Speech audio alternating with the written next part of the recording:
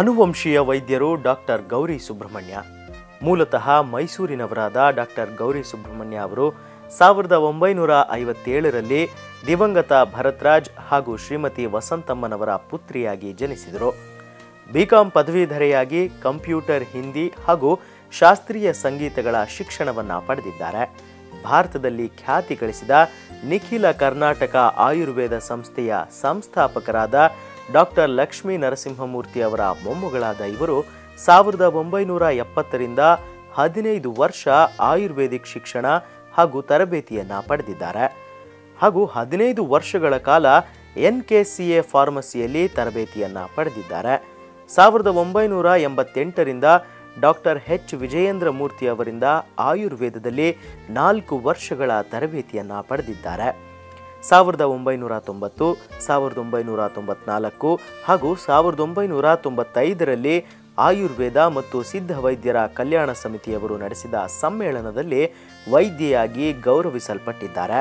ಸಾವಿರದ ಒಂಬೈನೂರ ತೊಂಬತ್ತೈದು ವಿಜಯ ಸಂಗೀತ ಹಾಗೂ ಕಲಾ ಕಾಲೇಜು ಆರಂಭಿಸಿ ಐದು ವರ್ಷಗಳ ಕಾಲ ನಡೆಸಿ ಸಹಕಾರ ಸಿಗದೆ ನಿಲ್ಲಿಸಲಾಯಿತು.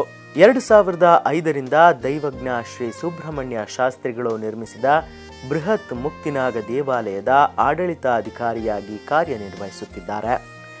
ಖ್ಯಾತ ಗಾಯಕರಾದ doctor S P Balasubrahmanyam, Shri Hemanth ಹಾಗೂ ಕುಮಾರಿ ಜ್ಯೋತಿ ಅವರು ಹಾಡಿದ ಮೂವತ್ತು ಸಿಡಿಗಳನ್ನು ತಯಾರಿಸಿದ್ದಾರೆ.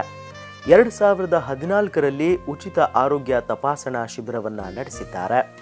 ಜನಪ್ರಿಯ ಉಪಗ್ರಹ ವಾಹಿನಿಯಲ್ಲಿ ಕಳೆದ ವರ್ಷ ತೊಂಬತ್ತಕ್ಕೂ ಹೆಚ್ಚು ಸಂಚಿಕೆಗಳಲ್ಲಿ ಹಸಿರು ಔಷಧ ಹಾಗೂ ಮನೆಮದ್ದುಗಳ ಬಗ್ಗೆ ಕಾರ್ಯಕ್ರಮ ನಡೆಸಿ ಖ್ಯಾತಿ ಗಳಿಸಿದ್ದಾರೆ. ಈಗಾಗಲೇ ಸಾವಿರಾರು ಜನರಿಗೆ ಔಷಧ ನೀಡಿ ಸೇವೆಯನ್ನ ಸಲ್ಲಿಸುತ್ತಿದ್ದಾರೆ. ನಮಸ್ಕಾರ ವೀಕ್ಷಕರೇ. ಕಲ್ಪತರು ಕಾರ್ಯಕ್ರಮಕ್ಕೆ ಆತ್ಮೀಯವಾದ ಸ್ವಾಗತ.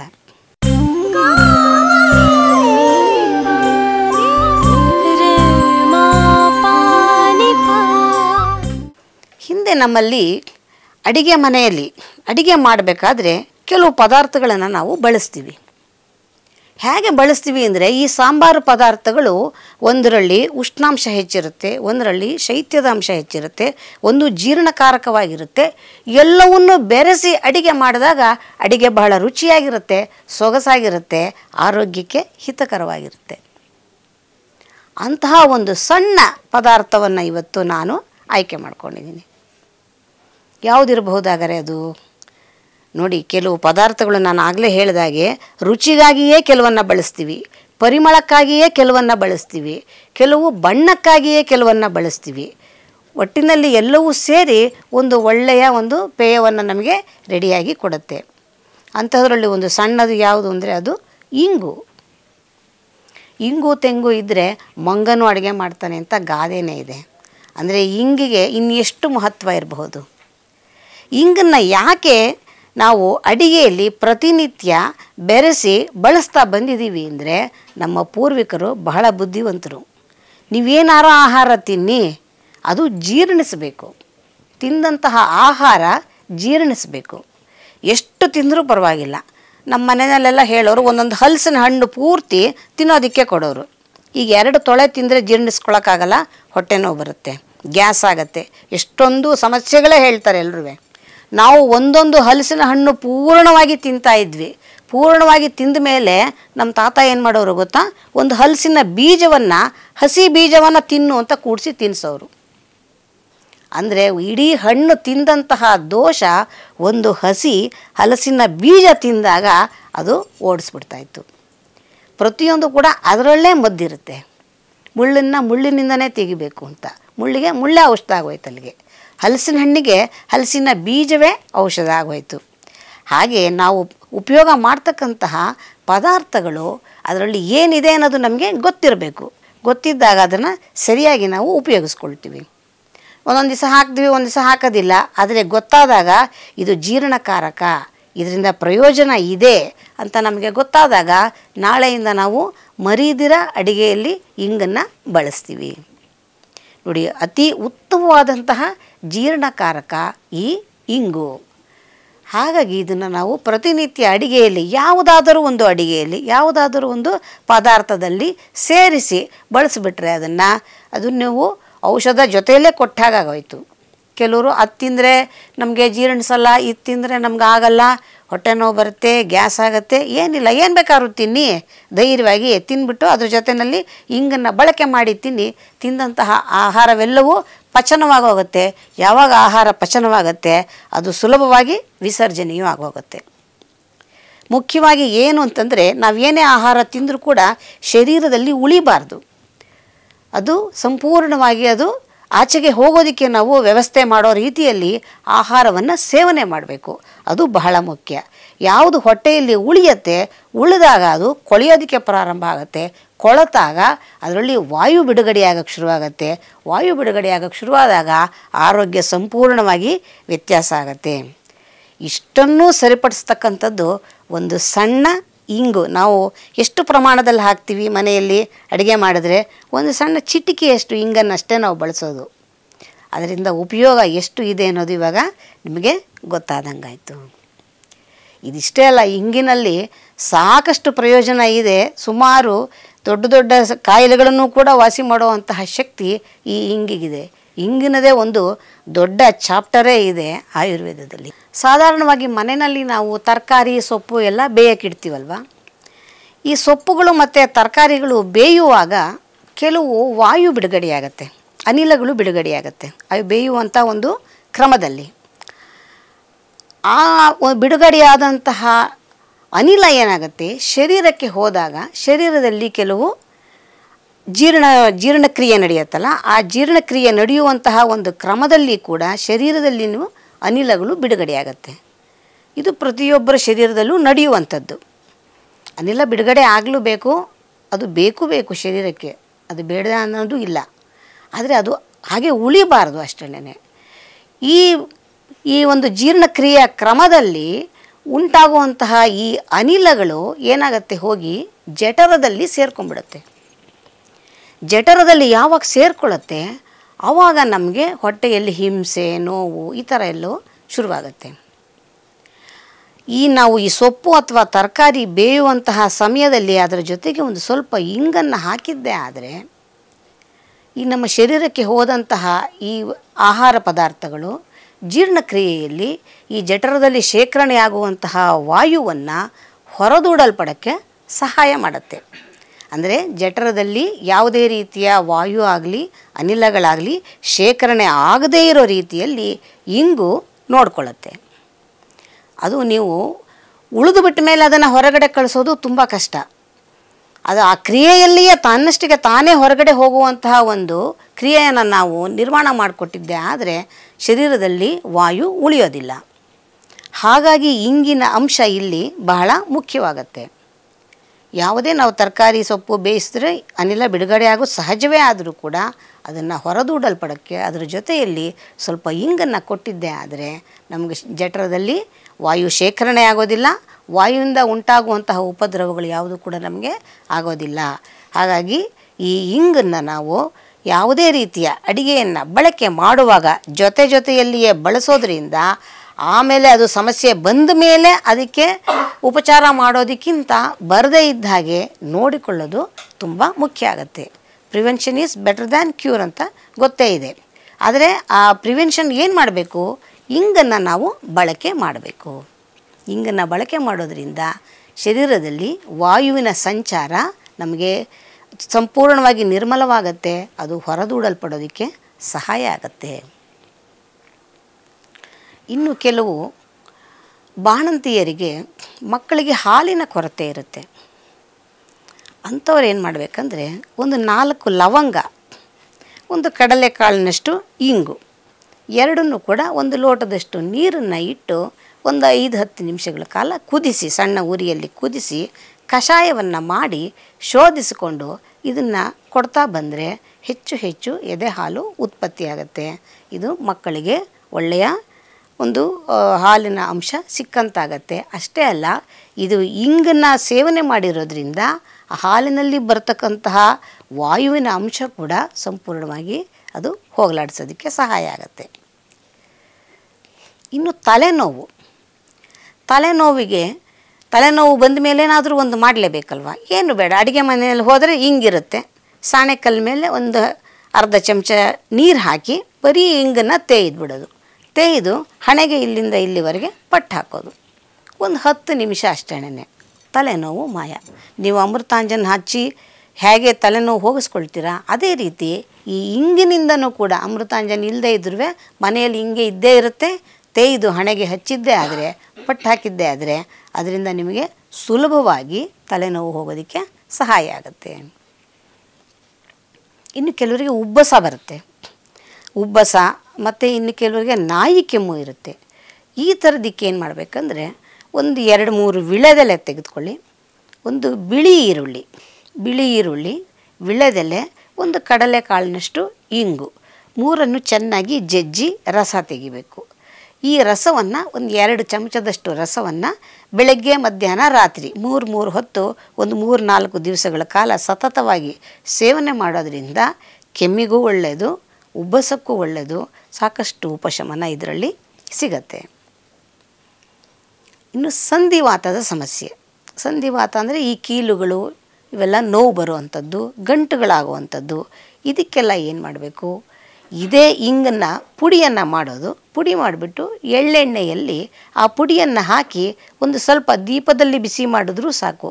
ಬಿಸಿ ಮಾಡಿ ಒಂದು ಎರಡು ಮೂರು ನಿಮಿಷ ಬಿಸಿ ಮಾಡಿ ಇಟ್ಕೊಂಡು ಬಿಸಿ ಬಿಸಿಯಾಗಿರುವಾಗಲೇ ಆ ಜಾಗಕ್ಕೆ ಹಚ್ಚಿ ಒಂದು ಐದು ಹತ್ತು ನಿಮಿಷಗಳ ಕಾಲ ಅದನ್ನು ಮಾಲಿಷ್ ಮಾಡೋ ರೀತಿಯಲ್ಲಿ ಮಾಡಿದರೆ ಆ ಗಂಟುಗಳೆಲ್ಲ ಸಡಿಲವಾಗುತ್ತೆ.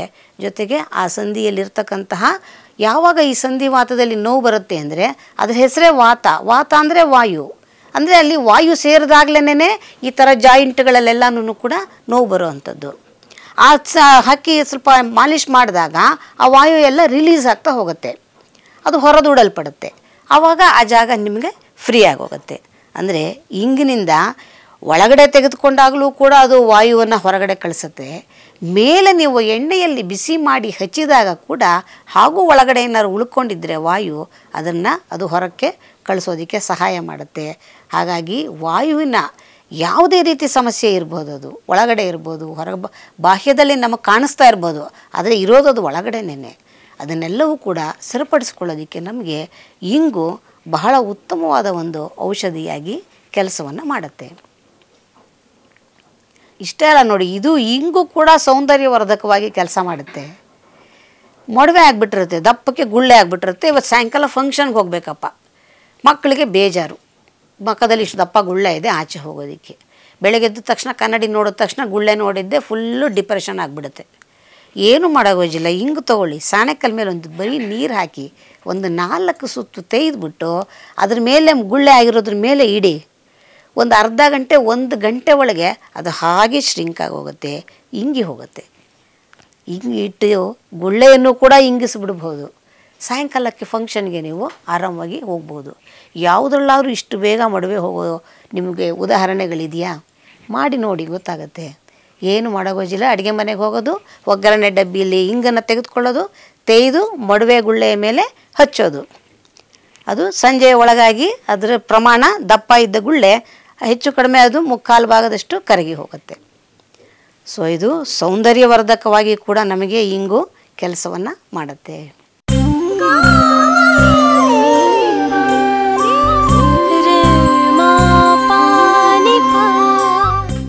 ಹೊರಗಡೆ ಎಲ್ಲೋ ಫಂಕ್ಷನ್ಗೆ ಹೋಗ್ತೀವಿ, ಊಟ ಮಾಡಿಬಿಡ್ತೀವಿ ಚೆನ್ನಾಗಿ.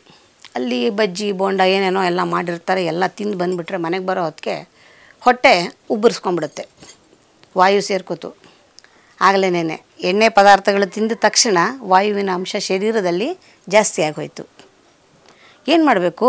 ಕೆಲವ್ರಿಗೆ ಗೊತ್ತಿರುತ್ತೆ, ನಾ ಮನೆಗೆ ಹೋಗೋ ಹೊತ್ತಿಗೆ ನನಗೆ ಹೊಟ್ಟೆ ಉಬ್ಬರ ಬರುತ್ತೆ ಹೊಟ್ಟೆಯಲ್ಲಿ ಹಿಂಸೆ ಶುರುವಾಗತ್ತೆ, ಗೊತ್ತಿದ್ದು ತಿಂದಿರ್ತಾರೆ. ಅವಾಗ ಏನು ಮಾಡಬೇಕು, ಮನೆಗೆ ಬಂದ ತಕ್ಷಣ ಅದು ಬಂತೋ ಬಿಡ್ತೋ, ಬರೋದಕ್ಕೆ ಮುಂಚಿತವಾಗಿಯೇ ನೀವು ಒಂದು ಲೋಟ ನೀರು ಮಜ್ಜಿಗೆ ಮಾಡ್ಕೊಳ್ಳಿ, ಒಂದಿಷ್ಟು ತಪ್ಪ ಇಂಗನ್ನು ಹಾಕಿ ಕರಗಿಸ್ಬಿಡಿ ಚೆನ್ನಾಗಿ, ಮಜ್ಜಿಗೆಗೆ. ಹಿಂಗೆ ಹಾಕ್ಬಿಟ್ಟು ಚೆನ್ನಾಗಿ ಕರಗಿಸಿ ಒಂದು ಲೋಟ ನೀರು ಮಜ್ಜಿಗೆ ಕುಡಿದ್ಬಿಟ್ರೆ ನೀವು ಅಲ್ಲಿ ತಿಂದಿದ್ದೆಲ್ಲವೂ ಕೂಡ ಆಹಾರನ ಸಂಪೂರ್ಣವಾಗಿ ಪಚನವಾಗುತ್ತೆ. ಅಲ್ಲಿ ಉಂಟಾಗಿರ್ತಕ್ಕಂತಹ ವಾಯುವಿನ ಅಂಶವೆಲ್ಲವೂ ಕೂಡ ಸುಲಭವಾಗಿ ಹೊರಗಡೆ ಕಳಿಸೋದಕ್ಕೆ ಸಹಾಯ ಆಗುತ್ತೆ. ನಮಗೆ ವಿಷಯ ಮೊದಲೇ ಗೊತ್ತಿರೋದ್ರಿಂದ ನಾವು ಧೈರ್ಯವಾಗಿ ತಿನ್ಲಬೋದು. ತಿಂದು ಅದನ್ನು ಮನೆಗೆ ಬಂದು ಸರಿನೂ ಮಾಡ್ಕೋಬಹುದು. ಇದಕ್ಕಿಂತ ಬೇಕಾ? ಎಷ್ಟು ಸುಲಭದಲ್ಲಿ ನಮ್ಮ ಸಮಸ್ಯೆಗೆ ನಾವೇ ಪರಿಹಾರ ಮಾಡ್ಕೊಂಡಂಗಾಯಿತು. ಇನ್ನು ಕೆಲವರಿಗೆ ಹೊಟ್ಟೆ ನೋವು ಬರುತ್ತೆ. ಹೊಟ್ಟೆ ನೋವು ಬಂದರೆ ತಡ್ಕೊಳ್ಳೋದಕ್ಕಾಗೋದಿಲ್ಲ, ಒದ್ದಾಡಿ ಹೋಗ್ತಾರೆ. ಮಾತ್ರೆ ತೊಗೊಂಡ್ರೂ ಕೂಡ ಒಂದು ಅರ್ಧ ಗಂಟೆ, ಮುಕ್ಕಾಲು ಗಂಟೆ ಆದರೂ ಕೂಡ ಕೆಲವರಿಗೆ ಹೊಟ್ಟೆ ನೋವು ಕಡಿಮೆ ಆಗೋದಿಲ್ಲ. ಬಹಳ ಸುಲಭವಾಗಿ ಈ ಹೊಟ್ಟೆ ನೋವನ್ನು ನಾವು ಸರಿಪಡಿಸ್ಕೊಳ್ಬಹುದು. ಬಾಳೆಹಣ್ಣು ಏನಾದ್ರು ಇದ್ದರೆ ಮನೆಯಲ್ಲಿ ಒಂದು ಸಣ್ಣ ತುಂಡಾಗಿ ಬಾಳೆಹಣ್ಣು ಒಂದು ಹೋಳು ತೆಗೆದುಕೊಳ್ಳಿ ಸಾಕು. ಆ ಬಾಳೆಹಣ್ಣಿನ ಮಧ್ಯದಲ್ಲಿ ಒಂದಿಷ್ಟು ದಪ್ಪ ಇಂಗನ್ನು, ಉಂಡೆ ಇಂಗನ್ನು ಇಟ್ಬಿಟ್ಟು ಅದನ್ನು ಹೀಗೆ ರೋಲ್ ಮಾಡ್ದಂಗೆ ಮಾಡಿ ಅದನ್ನು ಬಾಯಲ್ಲಿಟ್ಟು ನುಂಗ್ಬಿಡಬೇಕು. ಅರ್ಧ ಗಂಟೆಯಲ್ಲಿ ನಿಮ್ಮ ಹೊಟ್ಟೆ ನೋವು ಮಾಯವಾಗುತ್ತೆ. ನಿಮಗೆ ಯಾವ ಮಾತ್ರೆಯೂ ಕೂಡ ಇಷ್ಟು ಸುಲಭದಲ್ಲಿ ನಿಮಗೆ ಈ ಒಂದು ಪರಿಹಾರವನ್ನು ಕೊಡೋದಕ್ಕೆ ಸಾಧ್ಯ ಇಲ್ಲ. ಅಷ್ಟು ಸುಲಭದಲ್ಲಿ ಇಂಗು ಬಾಳೆಹಣ್ಣಿನ ಜೊತೆಯಲ್ಲಿ ಇಟ್ಟು ನುಂಗಿದರೆ ಸಾಕು. ನಿಮ್ಮ ಹೊಟ್ಟೆ ನೋವು ಮಾಯ. ಅಂದರೆ ಹೊಟ್ಟೆಗೆ ಸಂಬಂಧಪಟ್ಟಂತಹ ಹೊಟ್ಟೆ ನೋವಿರಬಹುದು, ಹೊಟ್ಟೆ ಉಬ್ಬರ ಇರಬಹುದು, ವಾತದ ಒಂದು ಪ್ರಕೋಪ ಇರಬಹುದು, ಯಾವುದೇ ಸಮಸ್ಯೆ ಇರ್ಬೋದು. ನಿಮಗೇನು ಗೊತ್ತಿಲ್ಲಪ್ಪ, ಏನಾಗ್ತಾ ಇದೆ ಹೊಟ್ಟೆಲಿ ಅಂತ ಸುಮ್ಮನೆ ಬ್ಲೈಂಡಾಗಿ ಹೋಗಿ ಒಂದಿಷ್ಟಪ್ಪ ಹಿಂಗನ್ನ ನುಂಗ್ಬಿಡಿ. ಒಂದು ಅರ್ಧ ಗಂಟೆ ನೋಡಿ. ಅದರಲ್ಲೇ ಉಪಶಮನವಾಗೋದಿದ್ದರೆ ಆಗತ್ತೆ. ಆಗಲಿಲ್ಲ ಅಂದರೆ ಆಮೇಲೆ ಬೇಕಾದರೆ ಬೇರೆ ಏನು ಅಂತ ಯೋಚನೆ ಮಾಡ್ಬೋದು ಇನ್ನು ಕೆಲವರು ತಲೆನೋವು ಅಂದರೆ, ತಲೆನೋವು ಅಂದ ತಕ್ಷಣ ಅವ್ರಿಗೆ ಭಯ ಶುರು ಆಗ್ಬಿಡುತ್ತೆ. ತಲೆಯಲ್ಲಿ ನಾನು ಹೆಮರೇಜ್ ಆಗ್ಬಿಟ್ಟಿದೆಯಾ ಏನು? ತಲೆಯಲ್ಲಿ ಏನಾಗ್ಬಿಟ್ಟಿದೆಯಾ ಏನು? ಅದಾಗ್ಬಿಟ್ಟಿದೆಯಾ, ಇದಾಗ್ಬಿಟ್ಟಿದೆಯಾ ಅಂತ. ನೋಡಿ, ತಲೆನೋವು ಬೆಳಗಾಗಿದ್ದು ಮೋಷನ್ ಆಗದೆ ಇದ್ದರೂ ತಲೆನೋವು ಬರುತ್ತೆ. ಹೊಟ್ಟೆ ಖಾಲಿ ಇದ್ದರೂ ತಲೆನೋವು ಬರುತ್ತೆ. ತಲೆನೋವು ಒಂದು ನೂರು ಕಾರಣಕ್ಕೆ ಬರುತ್ತೆ. ಬ್ರೈನ್ ಹೆಮರೇಜ್ ಆದರೂ ತಲೆನೋವೇ ಬರುತ್ತೆ. ನಾವು ಫಸ್ಟು ಯಾವುದನ್ನು ಯೋಚನೆ ಮಾಡಬೇಕು? ಬ್ರೈನ್ ಹೆಮರೇಜ್ ಆಗಿಬಿಡ್ತೇನೋ ಅಂತ ಯೋಚನೆ ಮಾಡೋಕ್ಕೆ ಹೋಗಬಾರ್ದು. ನಾವು ಬೆಳಿಗ್ಗೆ ಮೋಷನ್ಗೆ ಹೋದ್ವಾ? ಕ್ಲೀನಾಗಿ ಮೋಷನ್ ಆಯಿತಾ ನಮಗೆ? ಫಸ್ಟ್ ನಾವು ಅದನ್ನು ಯೋಚನೆ ಮಾಡಬೇಕು. ಅದಾಗಿಲ್ಲ ಅಂದರೆ ಅದಕ್ಕೆ ಏನು ಬೇಕೋ ನೋಡೋಣ. ಆ ನಿಟ್ಟಿನಲ್ಲಿ ನಾವು ಯೋಚನೆ ಮಾಡಿದಾಗ ನಮ್ಮ ಆರೋಗ್ಯ ನಾವು ಜೋಪಾನವಾಗಿ ಕಾಪಾಡ್ಕೊಳ್ಬಹುದು. ಇನ್ನೇನೋ ಆಗೋಯ್ತೇನೋ ಅನ್ನೋದನ್ನು ಅಲ್ಲಿವರೆಗೆ ನಾವು ಹೋಗಬಾರ್ದು. ಹಾಗೆ ಹೊಟ್ಟೆಯಲ್ಲಿ ಏನಾದರೂ ಸಮಸ್ಯೆ ಇದೆ ಅಂತಂದರೆ ತಕ್ಷಣ ಮನೆಯಲ್ಲಿ ಒಂದು ಲೋಟ ನೀರು ಮಜ್ಜಿಗೆ ಮಾಡ್ಕೊಂಡು ಕುಡಿಯೋದು, ಹಸಿ ಶುಂಠಿ ಹಾಕ್ಕೊಂಡು ಕುಡಿಯೋದು, ಅಥವಾ ಈ ಒಂದು ಚೂರು ಇಂಗನ್ನು ಮಜ್ಜಿಗೆಗೆ ಬೆರೆಸಿ ಕುಡಿಯೋದು. ಇಷ್ಟು ಮಾಡಿದ್ರೆ ಬಹುಶಃ ಹೊಟ್ಟೆ ನೋವು ಕಡಿಮೆ ಆಗುತ್ತೆ. ಅದ್ರ ಬದಲು ಬೇರೆ ಎಲ್ಲ ಕೆಮಿಕಲ್ಸ್ನೆಲ್ಲ ಸೇರಿಸಿ ಹೊಟ್ಟೆಯನ್ನು ಇನ್ನಷ್ಟು ಹಾಳು ಮಾಡಿ ಲಿವರೆಲ್ಲ ಡ್ಯಾಮೇಜ್ ಮಾಡೋದ್ರ ಬದಲು ನೋಡಿ ಉಗುರಲ್ಲಿ ಹೋಗೋದಕ್ಕೆ ಕೊಡ್ಲಿ ತೊಗೊಂಡ್ರು ಅಂತ. ಎಷ್ಟು ಸುಲಭದಲ್ಲಿ ಪರಿಹಾರ ಆಗೋದು ಅವಕಾಶ ಇರುತ್ತೆ. ನಾವು ಅದಕ್ಕೆ ಫಸ್ಟು ಅವಕಾಶ ಮಾಡಿಕೊಡಬೇಕು ಇದೆಲ್ಲ ಆಹಾರ ಪದಾರ್ಥಗಳು. ಆಹಾರ ಪದಾರ್ಥಗಳ ಸೇವನೆಯಿಂದನೇ ನಾವು ಸರಿಪಡಿಸಿಕೊಳ್ಳೋದ್ರಿಂದ ನಮಗೆ ಬೇರೆ ಯಾವುದೇ ರೀತಿಯ ಅಡ್ಡ ಪರಿಣಾಮಗಳಿರೋದಿಲ್ಲ. ಅದು ಬಹಳ ಮುಖ್ಯ. ನೀವು ವಾಸಿ ಮಾಡ್ಕೊಳ್ಳೋದಷ್ಟೇ ಮುಖ್ಯ ಆಗಲ್ಲ. ಅದರಿಂದ ನಮಗೆ ಬೇರೆ ದುಷ್ಪರಿಣಾಮಗಳ ಆಗದೇ ಇರೋ ರೀತಿಯಲ್ಲಿ ನಾವು ಜೋಪಾನ ಮಾಡ್ಕೊಳ್ಳೋದು ತುಂಬ ಮುಖ್ಯ ಆಗುತ್ತೆ. ಈ ಇಂಗಿನಿಂದ ನೋಡಿ ಕೊಲೆಸ್ಟ್ರಾಲನ್ನು ಕೂಡ ಕಡಿಮೆ ಮಾಡಬಹುದು. ಶರೀರದಲ್ಲಿರ್ತಕ್ಕಂತಹ ಕೊಬ್ಬಿನ ಒಂದು ಅಂಶವನ್ನು ಕಡಿಮೆ ಮಾಡೋದಕ್ಕೆ ಕೂಡ ಈ ಇಂಗು ಸಹಾಯಕವಾಗುತ್ತೆ. ಅಂದರೆ ಪ್ರತಿನಿತ್ಯದಲ್ಲಿ ನಾವು ಬಳಸ್ತಾ ಇದ್ದಾಗ ಅದು ಕೊಬ್ಬಿನ ಅಂಶ ಶೇಖರಣೆಯೇ ಆಗೋದಿಲ್ಲ. ಶೇಖರಣೆ ಆದಮೇಲೆ ಅದನ್ನು ಕರಗಿಸೋದು ಸ್ವಲ್ಪ ಕಷ್ಟ ಆಗ್ಬೋದು ಆದರೆ ನೀವು ದಿನ ಉಪಯೋಗ ಮಾಡ್ತಾ ಇದ್ದರೆ ಕೊಲೆಸ್ಟ್ರಾಲಿನ ಅಂಶ ನಿಮಗೆ ಜಾಸ್ತಿ ಸೇರೋದಕ್ಕೆ ಅವಕಾಶ ಆಗೋದಿಲ್ಲ. ಅಲ್ಲಿಗೆ ಇದು ಎಂತಹ ಒಂದು ಹೃದಯಕ್ಕೆ ಎಷ್ಟು ಇದು ಉಪಕಾರ ಮಾಡ್ದಂಗಾಯಿತು. ಯಾವಾಗ ಕೊಲೆಸ್ಟ್ರಾಲ್ ಜಾಸ್ತಿ ಆಗ್ತಾ ಬರುತ್ತೆ, ಆಗ ಹೃದಯದ ಸಂಬಂಧಿ ಸಂಬ, ಸಂಬಂಧಪಟ್ಟಂತಹ ಸಮಸ್ಯೆಗಳೆಲ್ಲ ಹುಟ್ಕೊಳ್ತಾ ಬರುತ್ತೆ. ಅದು ಹುಟ್ಕೊಳ್ಳದೇ ಇರೋದಕ್ಕೇನೇ ಕಾರಣ ಹಿಂಗಾಗತ್ತೆ ಹಿಂಗನ್ನು ಉಪಯೋಗಿಸೋದ್ರಿಂದ ನೀವು ಹೃದಯಕ್ಕೆ ಸಂಬಂಧಪಟ್ಟಂತಹ ಸಮಸ್ಯೆಗಳು ಬರದೇ ಇರೋ ರೀತಿಯಲ್ಲಿ ತಡೆಗಟ್ಟೋದಕ್ಕೆ ಸಹಾಯ ಆಗುತ್ತೆ. ಅಷ್ಟೇ ಅಲ್ಲ ಇದು ಮಲಬದ್ಧತೆಯನ್ನು ನಿವಾರಣೆ ಮಾಡುತ್ತೆ. ಮಲಬದ್ಧತೆ ನಿವಾರಣೆ ಮಾಡುತ್ತೆ ಅಂದರೆ ನಾನು ಆಗಲೇ ಹೇಳಿದೆ, ನಾವು ಏನು ಬೇಕಾದ್ರೂ ತಿನ್ಬೋದು, ಎಷ್ಟು ಬೇಕಾದ್ರೂ ತಿನ್ಬೋದು, ಆದರೆ ಶರೀರದಲ್ಲಿ ಅದು ಉಳಿಬಾರ್ದು.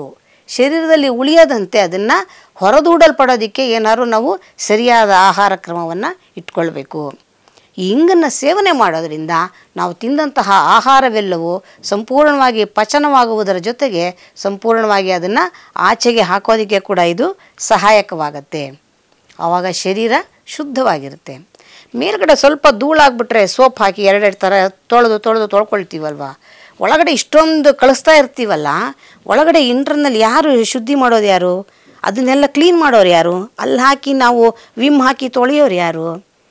ಈ ಶುದ್ಧೀಕರಣ ಮಾಡುವಂತಹ ಘಟಕ ಯಾವುದು ಅಂದರೆ ನಾವು ಇಂಗನ್ನು ಕೊಟ್ಟರೆ ಅದು ಅದನ್ನೆಲ್ಲ ಕ್ಲೀನ್ ಮಾಡಿ ಹೊರಗಡೆ ಕಳಿಸುವಂತಹ ಕೆಲಸವನ್ನು ಮಾಡುತ್ತೆ.